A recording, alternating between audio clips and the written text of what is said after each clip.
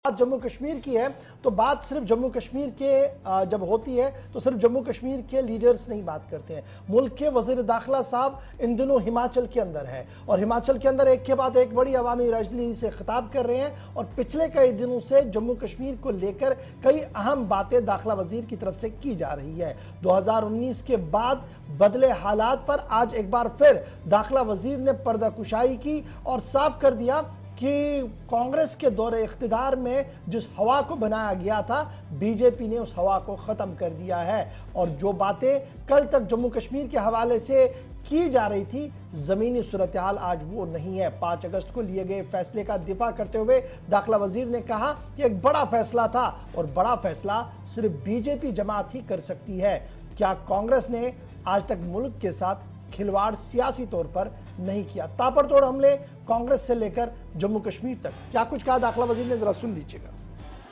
पाँच अगस्त 2019 को एक झटके में धारा 370 और 35 को समाप्त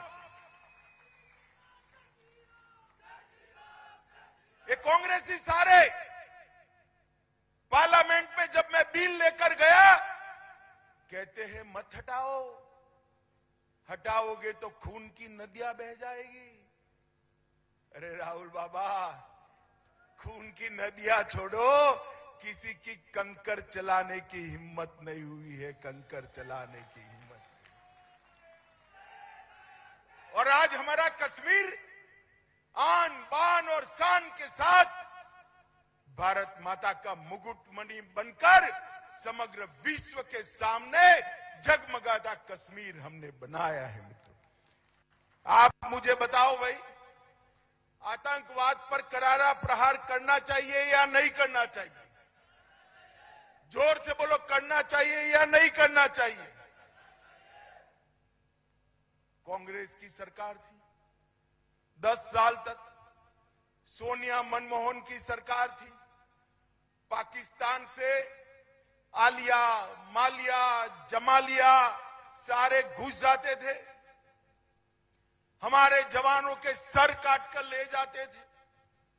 उसको अपमानित करते थे।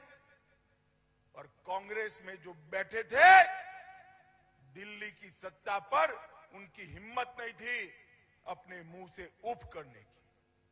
2014 में परिवर्तन हुआ। मोदी जी आए। पाकिस्तान ने फिर से हिमाकत की, उरी और पुलवामा पर हमला किया, मगर पाकिस्तान भूल गया कि अब कांग्रेस की सरकार नहीं है, भारतीय जनता पार्टी की सरकार है भाई, भारतीय जनता पार्टी की सरकार और मौनी बाबा मनमोहन सिंह मनमोहन सिंह प्रधानमंत्री नहीं है, नरेंद्र मोदी प्रधानमंत्री। माताओं, भाइयों, बहनों,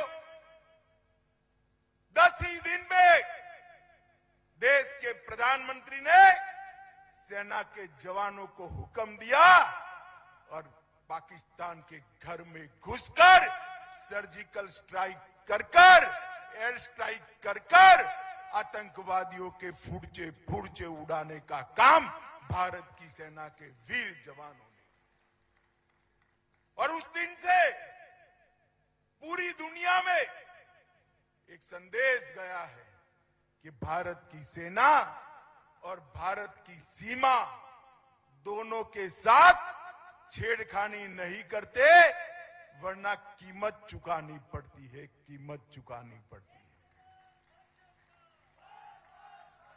माताओं, भाइयों दाखिला वज़ीर अमित शाह को आप सुन रहे थे, जो आज हिमाचल के अंदर एक अवामी रैली से खिताब कर रहे हुए थे बता रहे थे कि पाँच अगस्त के पहले और पाँच अगस्त के बाद किस तरीके के बड़े फैसले भारतीय जनता पार्टी ने किए हैं। और इस बार अगर हिमाचल में हुकूमत आई तो मंशियात से पाक हिमाचल को बनाने का अजम दोहराया वज़ीर दाखिला।